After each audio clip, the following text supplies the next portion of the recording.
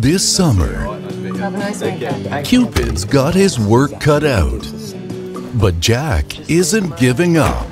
It's gonna take a grand gesture Please stop it now. to win his girl around Hello. and conquer her heart. Life isn't like the movies. Let's stop normalizing stalking. Please contact us for help or visit our website for more information.